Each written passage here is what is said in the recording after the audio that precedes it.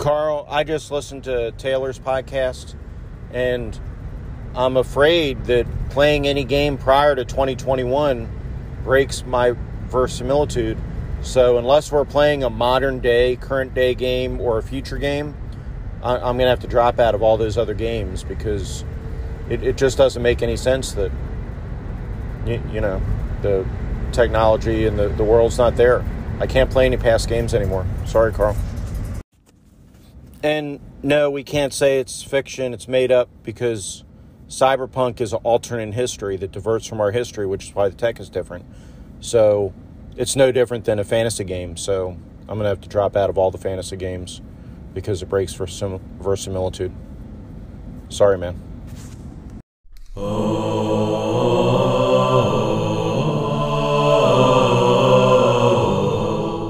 Carl Rodriguez The.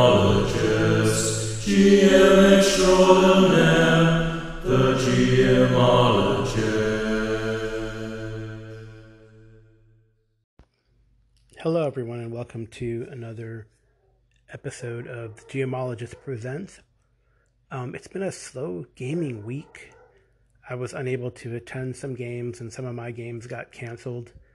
Um, so, yeah, no recaps this week except for one.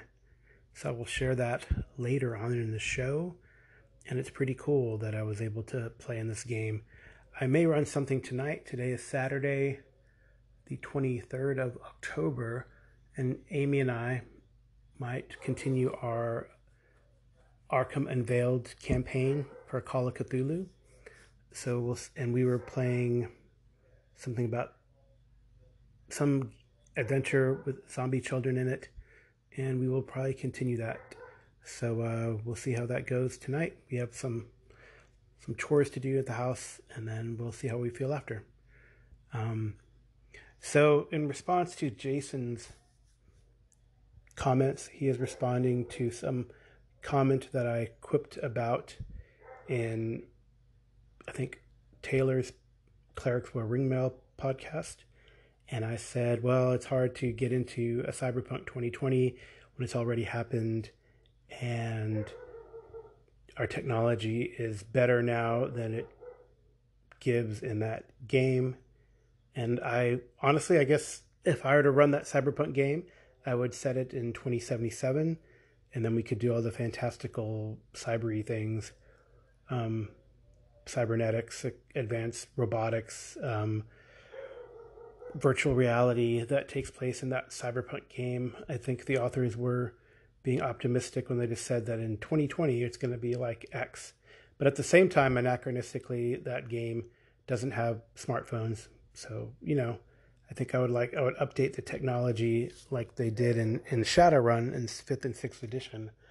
Or I think maybe as early as fourth edition where they're like, okay, we're not gonna have wires and and punk rock hair um, to jack into your you know, find a node and jack in physically to a place you can do it in the virtual reality world and explore nodes in virtual reality, a la Snow Crash, um, as opposed to what they did in up to third edition. But apparently, some people don't like that change, even though it makes more sense with our technology. And that was my kind of quibble. And Jason took it uh, took it to extreme and quibbled on the quibble. And that's probably the trouble with quibbles is that they keep um, they populate just like in that Star Trek episode. Um, but as BJ Boyd stated in the Audio Dungeon Discord, right, he didn't think it was a good idea. There are topics that keep coming up, people won't let them go. They're practically clinging on to them. And as we all know, quibbles hate Klingons. So thank you for that, BJ. I think you won the internet that day or at least that channel in the Audio Dungeon Discord. Yeah, so the trouble with quibbles is that they keep going on, and I probably should have dropped it, but you know, it scratches at the back of my neck, sticks in my craw that uh, things aren't the way I want them to be, but hey, it's not my game, right? I mean, Jason could say the same argument for Twilight 2000 that, hey, that didn't happen. We broke the wall, Gorbachev wasn't assassinated.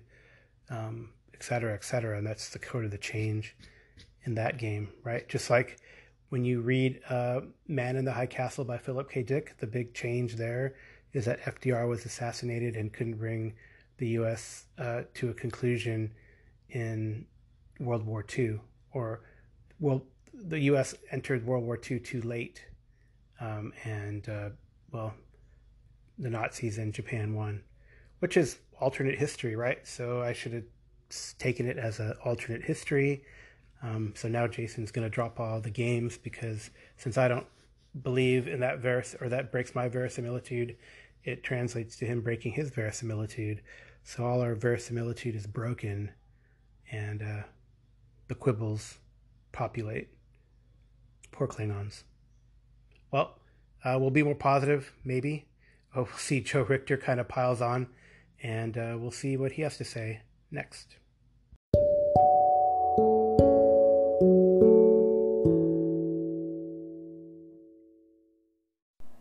Yo, Carl. So, question, man.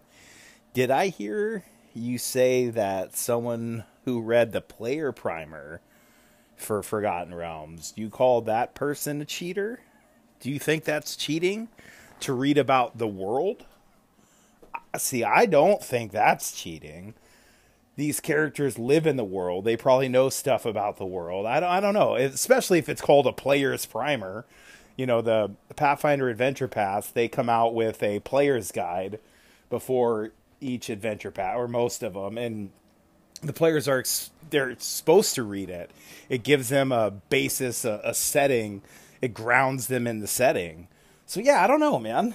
I don't know if that's what you said. I might have misheard. So what do you think? Is someone who reads about the world that they're playing in are they a cheater? Peace out.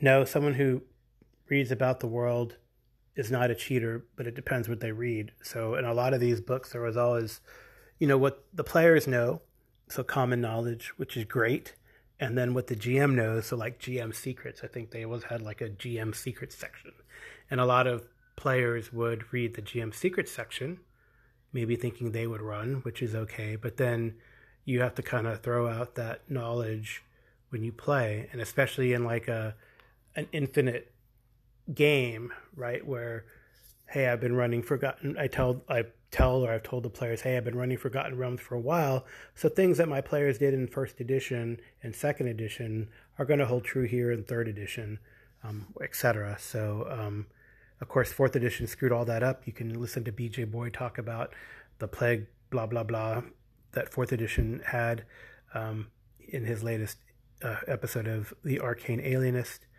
Wow, BJ, that's twice I mentioned you in this game. I'm glad that uh, you keeping up that positivity because these quibbles have honestly really got me down, you know. Um, and I know it's all tongue in cheek, but if you have a hard week at work, you know, it kind of translates to what goes on in your um, leisure life. So yeah, it's kind of bummed that I didn't get to play games that I wanted to play in because of various circumstances, um, and that. Uh, you know, people who I think are my buds can't take a joke, or maybe I cross the line in joking. So, no, just to reiterate, it's not cheating. I think what gets annoying, though, in circumstances like this as well, in my Forgotten Realms canon, this was didn't exist, or this didn't happen, or this was like this. But like I've already told you guys, things have happened in this world where there might be changes uh, because it's my Forgotten Realms, not your published Forgotten Realms. So uh, there you go. And I, get, I guess that's why I like games. There's a couple games just to, like, I think Eberron, the world setting Eberron is very good at this. We start 10 years after the big giant war that happened. Everything else is your own Eberron. And I don't know if they changed that with the fifth edition Eberron stuff. I can't remember. Maybe they made it 20 years after. I'm not sure, but I'll have to look at that. But I remember Eberron. Why it was appealing is that we're not going to change. There's no meta story. We're not going to change what's going on from this point on. And I like that same thing with Harn World too. And Hard, Harn World is nominally system agnostic, and you can run any um, role set with it. I've run Harn Master uh, various incarnations, and also the Riddle of Steel, which really worked. And I'd love to get back to that. So Burning Wheel would work just as well too. They have five e hacks. They have like a um, a harp hack for Harn World. Harp hack for Harn World. That's kind of fun to say three times really fast. But um, yeah, so Harn it not it stops at 720 in their dating system, and after that it's your Harn world, and that's kind of what I prefer because then you don't get into arguments, Joe, and maybe that's what I was passive aggressing to. Um, that in the past players have done that and argued, well, my my player primer says this, so that shouldn't be happening in this world, right? But then what if you import, you know, like what if you take a Greyhawk adventure or adventure originally set in Greyhawk and then put it in the realms? What if you take like a big um, adventure path like Night Below and put it in the Forgotten Realms where it originally was, I think, in Greyhawk, right? Maybe.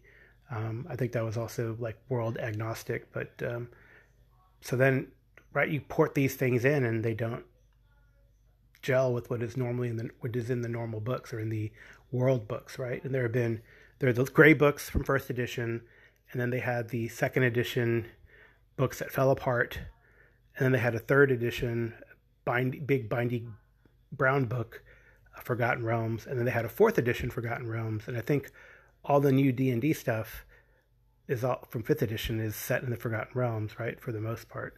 So there's a lot of canon on the realms, and players need to let GMs, and I think you would agree, Joe, players need to let GMs make it their Forgotten Realms or their insert published world here. And that's why I prefer games where they don't have this meta plot.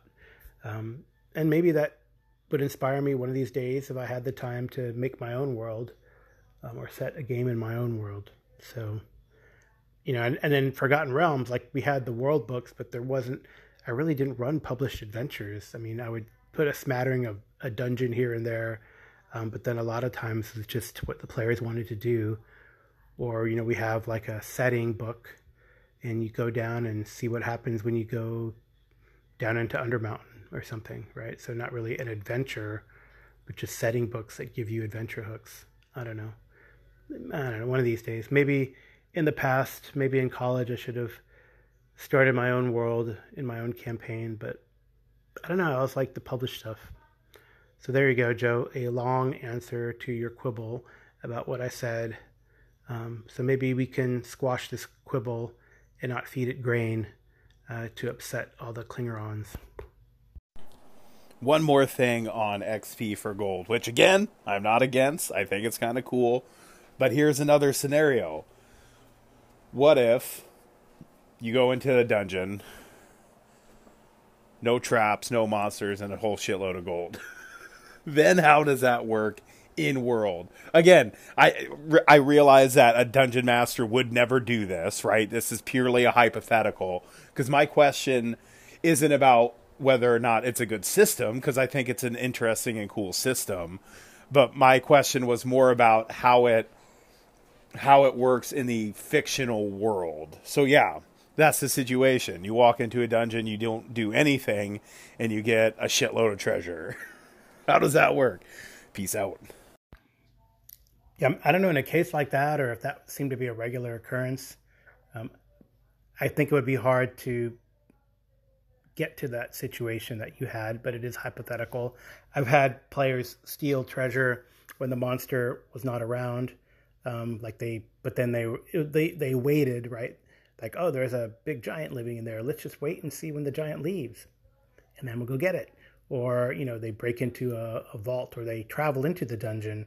Uh, that's part of the effort. But in a situation like that, where they just take gold and just sitting there, well, maybe I know there are some systems where it says in order to get XP for the gold, you have to spend the gold. So then you would have them, they wouldn't get XP at that point when they got the gold, but then when they go carousing and spend it all, then they get the XP. So then, therefore, they're interacting with the world and influencing the world and buying shit, right? So I think that's what I would do. But um, yeah, I don't, you know, it's a really interesting discussion and something that can help I know it definitely helps in the older editions of the game to get the players up to a survivable level because they're pretty squishy at first level, right? Um, but then it again, my biggest thing is that it, you know, other than I don't know, maybe maybe Wizards is going to change, and apparently, in their latest offering, the Witchlight Fae stuff, you can essentially solve the adventure by not fighting. So they're going to give you XP and milestone XP for overcoming challenges without fighting, but that has generally not been the case with Wizards products.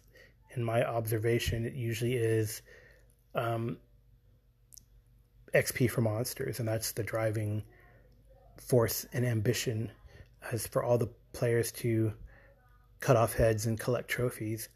And I I know that Paizo with their Pathfinder stuff has been doing overcome for XP in a non-violent manner for a long time, um, and now Wizards authors are finally catching up, or maybe they're finally using a lot of those freelancers, right? So, um, yeah, so I think that's a that's a, a great observation and great idea, and now it gives me ideas myself on how to maybe set up that scenario. And then again, maybe the gold is cursed if it's that easy, and part of the XP is getting rid of the gold to pass on the curse. But is that the way you solve the problem? No, it's you. You're now working for the bad guy. Great idea, Joe. That's the next adventure.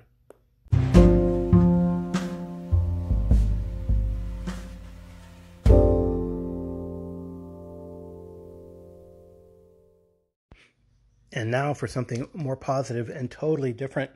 I got to play finally in one of Andy Goodman's Call of Cthulhu games, and I was able to jump in to their campaign of the Two Headed Serpent, a pulp Call of Cthulhu adventure.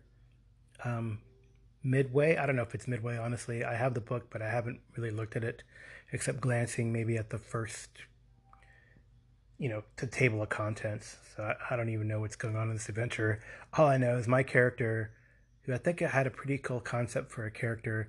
My character is jumping in um, mid campaign when they're in Iceland um, so there, that's probably the, hopefully the only spoiler I give. I'm going to talk about my character and my interaction with the other players, mainly.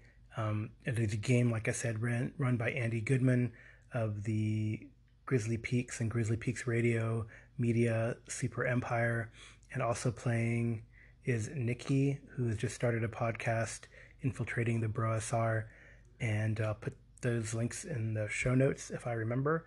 The other two people I don't think have podcasts, but uh, they were super fun to play with. Um, I felt it was very welcoming, which was really cool. My character is, um, uh, I will let me go look. I need to go pause it and go look at the actual character sheet to see what his name is because it's kind of long. My character's name is Amaruk Nukilik Igi Masusuk Tranguapluk, or Amar for short or Amar for short, depending on where you are and how you pronounce it. And he is uh, of mixed ancestry. He is part Inuk, Inuit and Danish. He is the unrecognized son, or he is a son. He is a son out of history of the great Danish explorer Peter Freuchen, and uh, he is older than the real life children of Peter Freuchen at this time, who are only 17, and he has gone with his father on various expeditions to Greenland. He was there in 26 when his father had to cut off his leg. Um, and he does admire his father, but there is a love hate relationship that it was fun to, to kind of explore in there. Uh, he feels his father is a sellout for the movie that is that he produced the previous year. We're in 1933 I believe that is what Andy told me. So it was cool. So um, Amar uh, joins these creatures, uh, joins the players while they're in dipl- diplomatic relations with these creatures.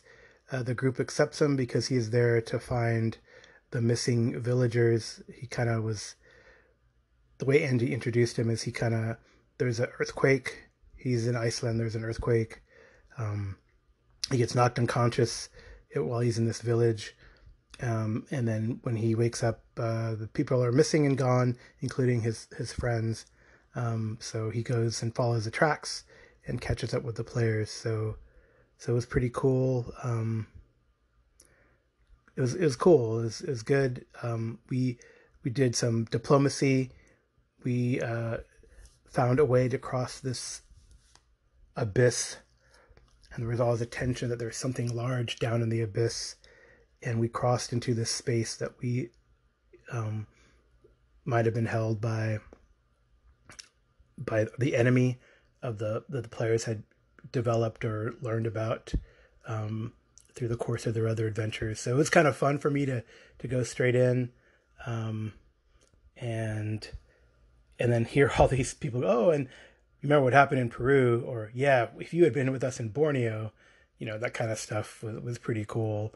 Um, and he's a little behind the curve, and even behind in his uh, um, yeah, he's he's behind in you know what they know and of course in skills and stuff like that. But it's it's cool. It's it seems like it's going to be a fun campaign a fun character to play. And andy has these little parcels of two hour blocks so we play for two hours and see how far we get which is actually very cool. So um, i really enjoyed the group enjoyed the game. I feel like i have to step up my play game. And um, but it was very enjoyable and so yeah you'll hear like snippets like this. Um, I'll try to be as spoiler free as possible. Um, if you Two Serpents has been out for some time, so you may have already read it if you're a Call of Cthulhu fan, especially the pulp. I think it was the first big campaign for Pulp Cthulhu, other than what was in the Pulp Cthulhu book. Um, but Andy has done Disintegrator, which is on his um, Grizzly Peaks radio.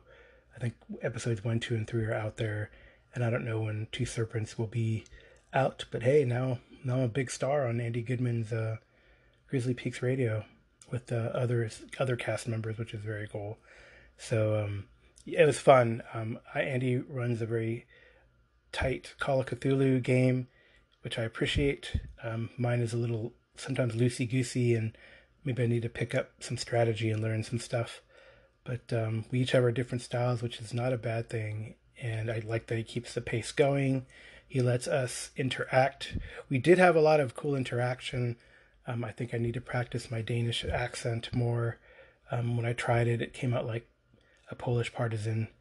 Um, so I got to figure that out. But it was cool. People get into character um, with either their American accent or um, I think one of the players is from India, so he has like a slight, you know, uh, Indian uh, Indian genteel accent, right? So um, so it's pretty cool that that people get into it, which is what I enjoy.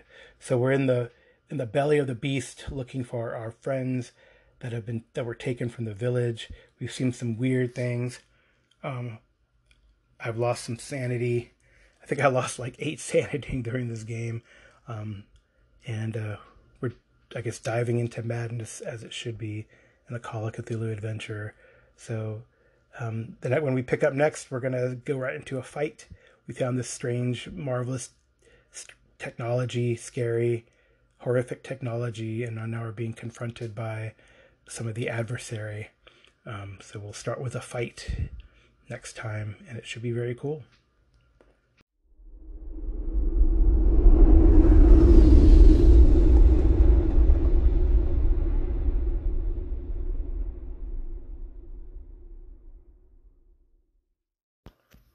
Think that'll be all for now.